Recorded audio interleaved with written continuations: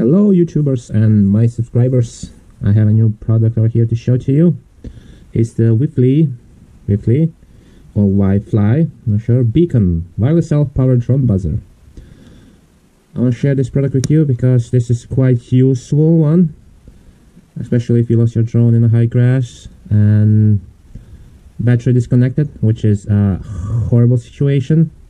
You can always, if battery you can always use your uh, uh, motor signal as a as a beacon, so you can find what it is. But if a battery is disconnected, then pretty much you are in big trouble.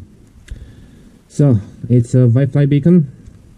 I'm gonna open up and see what's inside. So we got one beacon, one zip tie, and one double stick chain. I'm gonna look straight away in it so it's only one buzzer. It's not a double one. I had a double one.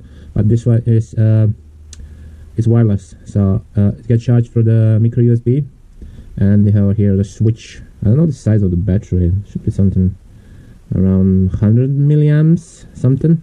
1s and uh, right here is a programming button.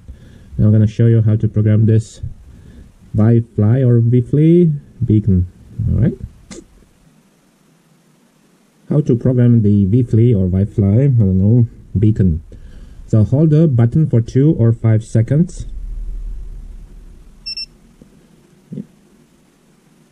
When turning on, the, the buzzer will sound 2 whispers continuously. A LED, uh, a LED is on shortly. Yeah. When detecting a big crash, Wifly beacon will enter pre-arm status that will sound one whistle every 3 seconds.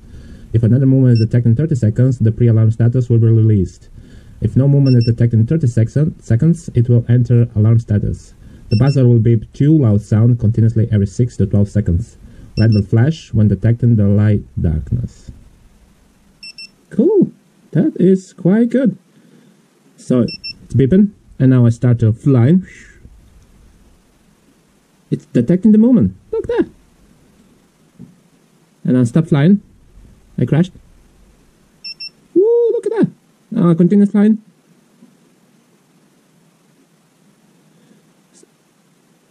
Nice. It works. It works.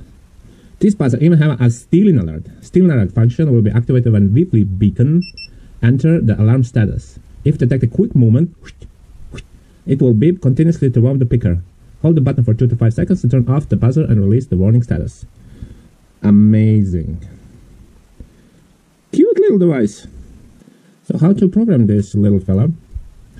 So I press the button, 35 seconds. LED blinks one time, the sensitivity is high. If LED blinks two times, the sensitivity is medium. If LED blinks three times, the sensitivity is low hold the button 25 seconds to save the settings.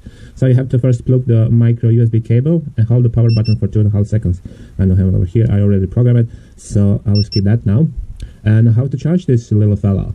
When the voltage battery is low, the buzzer will beep two loud sounds every one second and charge via USB cable. The light light will be off when it's fully charged. To fully charge this, um, it's by the way 80 milliamp battery.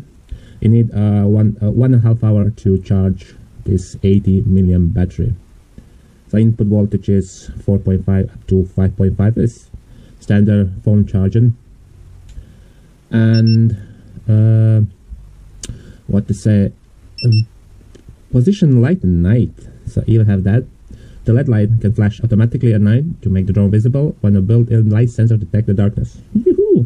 Even that is great. Even that is great. So in case of crash, on 30, first 30 seconds, we're gonna be on low volume. After 30 seconds to 2 hours, it will go to max volume every 6 seconds. And after 2 hours, every 12 seconds, idle until will empty the battery. And if you don't find it, you are pretty much screwed then.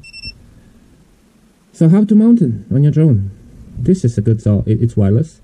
So you can have only one beacon for all your quads or planes, which I need that. I need just one, so I can skip every frame I have, every platform I have. So here I have my latest cute build. So where to mount this? It can be mounted outside, it can be mounted anywhere. But I recommend to mount it on a strap somewhere like this or here you can 3D print a part measure and 3D print a part and fit it on the side just make it like a pocket and when you don't use it when you don't want to use it or you want to put it on something else you just pull it out and put it on some other frame. It is so uh, what is the running time on this one? Uh, so standby time is up to 10 hours and working time is up to 30 hours. So and the dimensions are 25 by 14 oops sorry 25 length by 14 width and height is 15 millimeters so it oh, it can be smaller than this seems so. You need light buzzer. And need a decent battery. You can even do the bigger battery so you just cut the heat shrink here and fit a bigger battery there and heat shrink back so you have like 150 milliamps and double power. And what I'm to do here is I'm trying to make here like a socket. Or sorry like a sock where I'm gonna just slide in this little fella with the buzzer around and that will be like sleeker and nicer. To to look and then uh, just after I can pull it out and fit another frame. So I need just one buzzer. And it's a cool one with a cool cool stuff on it. For a decent price about 15 bucks I paid for it. Cool. That's it. That's all for this review of the product and hopefully we'll see each other in next video. That's all for now